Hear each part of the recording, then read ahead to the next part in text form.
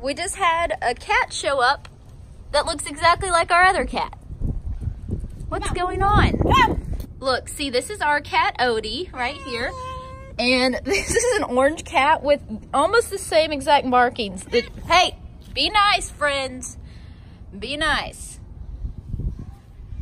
But look, come here, kitty, kitty, kitty, kitty, kitty. Look, see, they have the same white markings on their chest. How cute is that?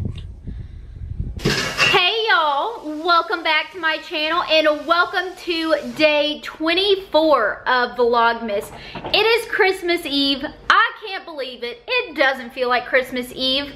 However, me and my mom have been in the kitchen cooking and now we are getting everything ready for our Christmas Eve dinner.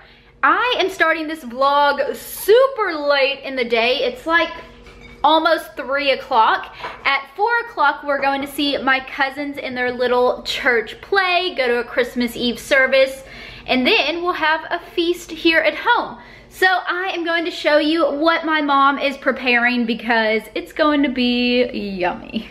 Okay, so one of the things I'm cooking tonight is a, there you go. Let me turn the pie off. So what I have in here is, let me see, I was gonna show y'all this. Every good cook has to have some tricks to use every once in a while when you're in a hurry. So this is a Marie Callender's Razzleberry Fruit Pie, and if you've not tried this pie, it is absolutely one of my favorites. They sell out way before the holidays. Um, but we don't have berries that grow really well down in Texas. They all have to be brought in anyway. So I love this raspberry pie. I made some stuffed mashed potatoes.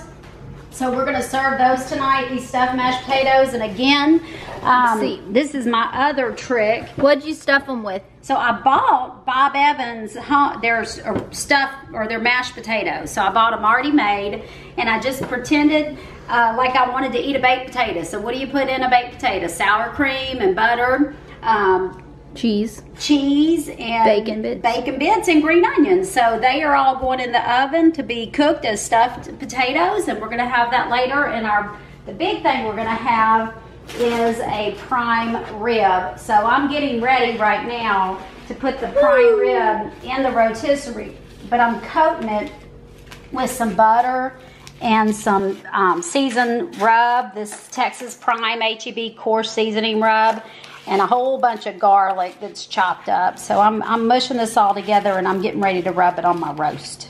So um, this is the butter, the garlic, and, and the um, Seasoning. seasoning. And I'm just, what I'm doing is I have this nice Nolan Ryan uh, boneless rib roast and I am coating the seasoning on it and then I'm gonna put it in my rotisserie and let it cook for several hours while we're at church.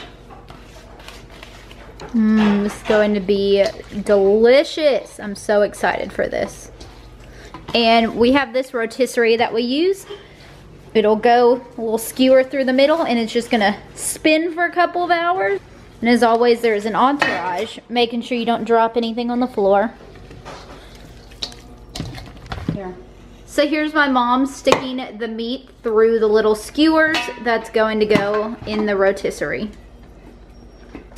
All right, so we've gotten the roast in the rotisserie and basically we're just going to figure out how many hours we need to roast it for a seven pound roast. It says 18 minutes per pound, so whatever 18 times seven is, is probably what we're gonna have it cooking in here for. We'll put the lid on it. It'll start heating up, rotisserie. Oh, and it's gonna be so good. I had these green beans at a party the other night and they were a hit from my friend um, Sharon Stickler gave me this recipe and so we're gonna try them here at my house tonight. So I took these fresh green beans, she used canned, but I had fresh so I stuck them in the microwave for a few minutes, just, just took them out of the bag, put them in a pan, stuck them in the microwave so that they get a little bit cooked. And her recipe was for brown sugar. So y'all, we know this is gonna be good. Somebody, I think on one of your videos, they said we wouldn't be able to eat at your house because you use so much butter. But uh, butter, How much of butter? a cup of butter, How much brown sugar? a cup of brown sugar. I just sprinkled everything with garlic salt and it said a teaspoon of soy sauce. That's probably a teaspoon of soy sauce. And I'm just gonna stir all this up. I am gonna put it in the oven and let it bake for 30 minutes. And in the meantime, I'm gonna fry up some bacon to put on the top of it. Yum. So Interesting. I had never had green beans cooked like this, but at the party the other night, people just raved over these green beans. They were so delicious. So um, I figure I'll just make them for us tonight to go with that rib roast.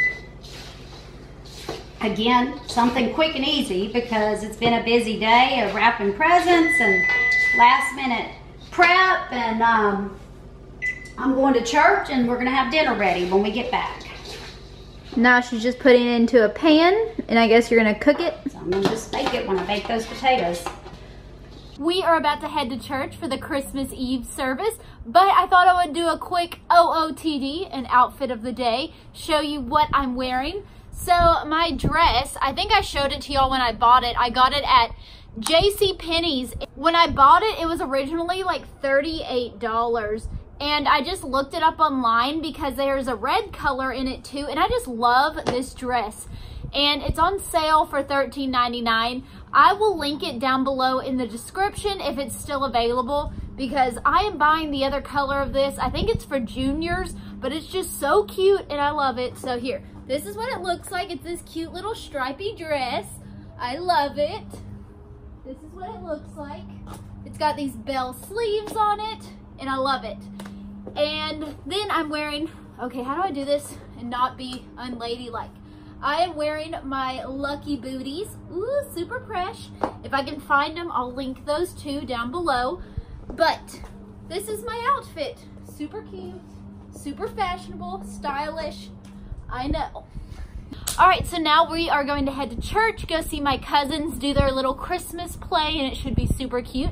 So I will check in with y'all here in just a little while. So here's your Mama Haddon, Trisha Woodburn, and me, your mama, and, and you, of course. And we're heading in to St. John's Catholic Church to the services for our nephews are all in the Christmas pageant today. So that's where we're going right now to go watch.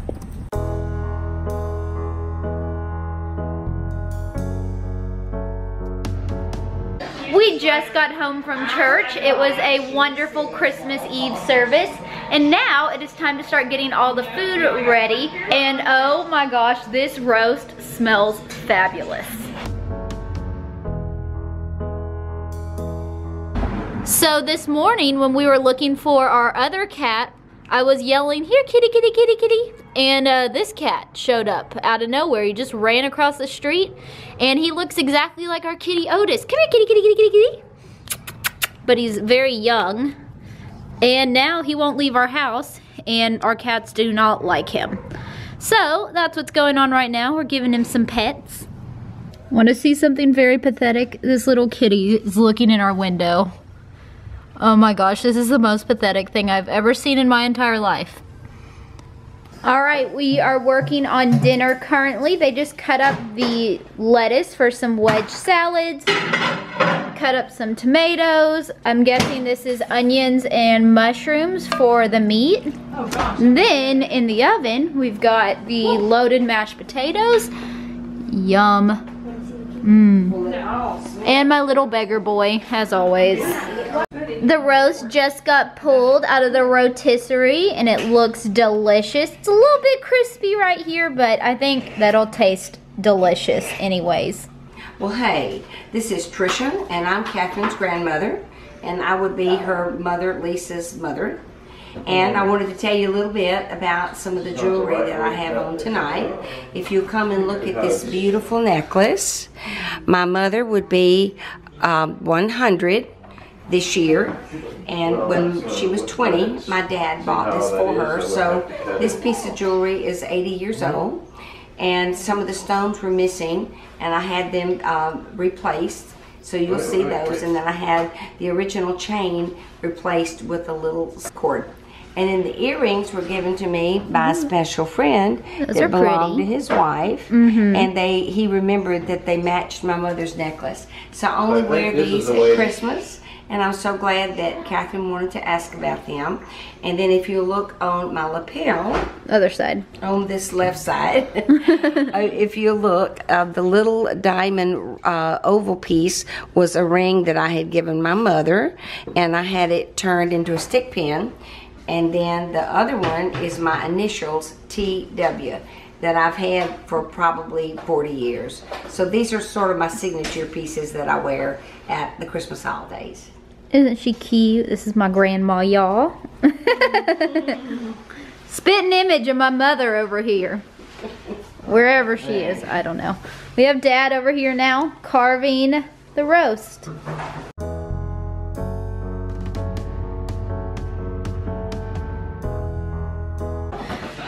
We have the meat that dad carved and it looks delicious and perfectly cooked. We've got the mushrooms and onions. We've got the green beans.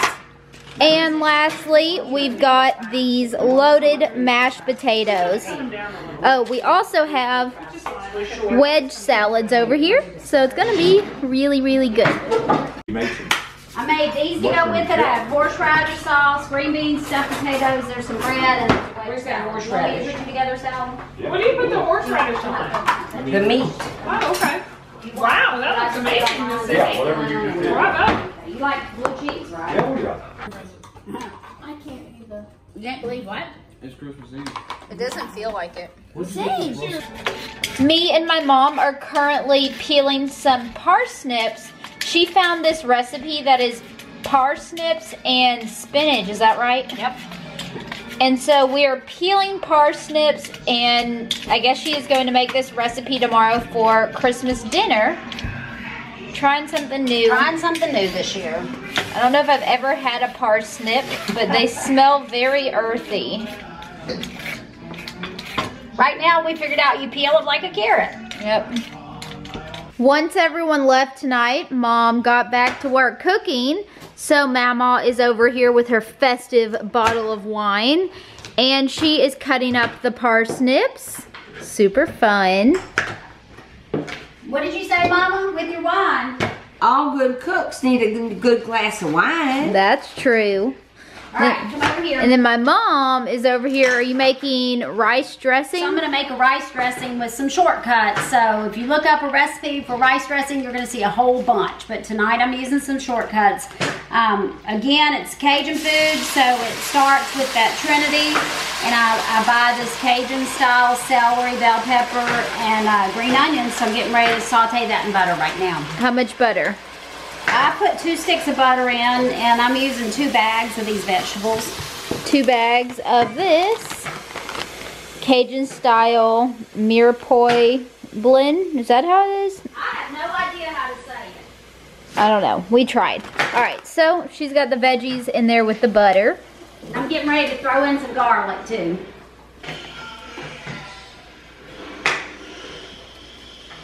Yeah, maybe a little more. Did two spoonfuls of garlic in there. So I'm just gonna saute this in the, um, until it gets translucent and ready to add to the dressing. While that's cooking, I'm gonna start getting everything else ready. So earlier tonight, while I was cooking that prime rib, I made up a batch of rice. So some recipes you can pre-cook the rice, some recipes you, um, you use rice that's already cooked. And my recipe tonight is gonna be rice that's already cooked because I am taking a few shortcuts. Also, um, so this is what my grandmother would do. She put in some old stale French bread, so I bought this herb seasoned classic stuffing mix. It's different than that cornbread one I've used before. So this is the classic herb seasoned from Pepperidge Farm. So I'm gonna mix that in there with it. That's gonna be a part of it. Then I'm gonna add Oh, that butter smells good. it does smell good, doesn't it? I'm gonna add some ground sausage, a ground, uh, pre-cooked a pound of ground sausage and a pound of ground beef. So um, the other thing I did is I, I put boiled eggs in here. This was something my grandmother always made. It was a rice dressing and it is so loaded with meat. It really is a meal all in itself. So I put four boiled eggs that were chopped up. You got that? Don't burn yourself. Got the um, Trinity mix. Trinity mix with the garlic added to it. And now if I was making this just for us, I probably would have boiled some chicken livers and gizzards or my grandmother would use a boiled chicken that was off the bone and chopped up. But instead I have that turkey carcass that was left over from Thanksgiving and I boiled that turkey carcass and got all the meat off the bone and I'm gonna pour that um, the meat and the juices in there so that's gonna be my poultry and I'm just gonna mix it all up and I know it looks gross but it it just came out of the freezer so it's still full of a little ice but I'm gonna use that as the juice and it's gonna add add the meat that could be chicken like I said white meat chicken chicken livers um, livers and gizzards just depending on where you are and what your what your uh, preference is and this is gonna make one big old pot of rice dressing Mm-hmm. Do you need me to help stir that? yeah I really would like you to help stir that, please just gonna add some Tonys that Katherine's gonna stir in here for me in a minute. Y'all see I'm just shaking it across the top because there's a lot of stuff this Tony's needs to mix with. There you go. Ooh, my arm is getting in a workout mixing this stuff. Oh my lord. Uh, tonight I'm just gonna put it in a container and let just all the flavors sit there and gel overnight. And then tomorrow I'll spread it in a big baking pan and, and bake it. Uh, probably 350 for about 45 minutes. Well, after loading it up, I remembered that I had chopped up a whole bunch of green onions that are supposed to go in there. So I'm gonna add the green onions. I'm gonna mix it up one more time. I'm gonna stir it all up in there, and then I'm gonna um, put it back in, in the in the Tupperware until tomorrow. We just found out that parsnips will turn brown overnight since we peeled them. And so we have them browning in some butter. My mom is over here cutting up some shallots. I'm just gonna do the start of the recipe. Um, only because I don't want the parsnips to turn color. So I'll get the recipe started and I'll finish it tomorrow morning. Mom is now adding a teaspoon of fresh thyme. And then we'll use a cup of broth and we'll cook all of this together for the parsnips to soften and then I'll put them in the refrigerator and save until tomorrow and we'll finish it tomorrow. So we used this better than bouillon for the chicken broth that she needs. You just mix a teaspoon of it with some water and you've got broth. And over here we have two kittens attacking each other. They are not kittens anymore. They're big fat kittens. Big old fat kittens, right? Mm-hmm. Yeah. What is it? Okay, he just bopped my camera. The kitten is outside. He just was came in and looked in the back door. And our cats are not very happy about it. Little guy, where'd he go? What do y'all think? Can y'all please be nice to the little baby? Can y'all please be nice to the little baby? Hey guys, I just wanted to sit down and have a little bit of a chat real quick before I close out the video.